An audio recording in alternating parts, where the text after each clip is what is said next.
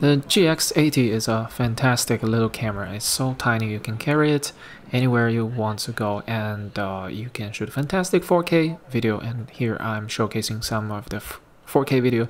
It has 1.1 times crop but uh, I haven't really uh, noticed the huge differences.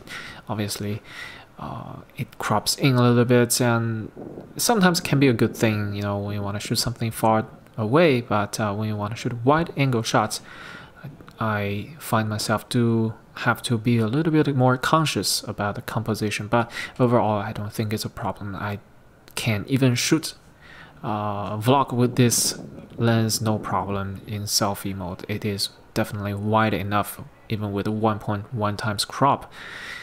And uh, this afternoon, this evening, I went to Porto Marghera, one the cat shelter is is there, and there are a lot of cats there. And this black cat is really friendly. She's rubbing all over me and climbing onto my laps.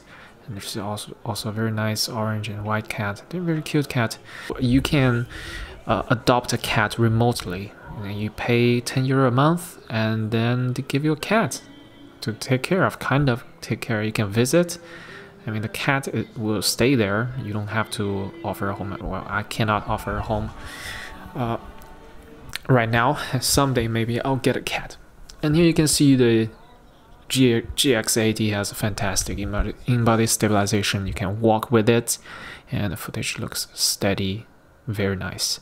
And all the videos are shot uh, in natural profile and without any uh, color grading, color correction, so straight out of, out of camera. And uh, here I'm gonna just throw in some pictures shot with this camera as well.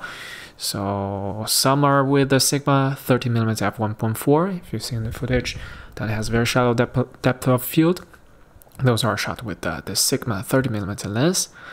And then pictures like this, and uh, later footage of the cat, uh, from the cat starting from the cat I started using the Leica 12 to 60 millimeter lens. Uh, it's a beautiful all-around uh, walk-around lens. Uh, you can zoom in to somewhere really far away and you can have very nice wide shots.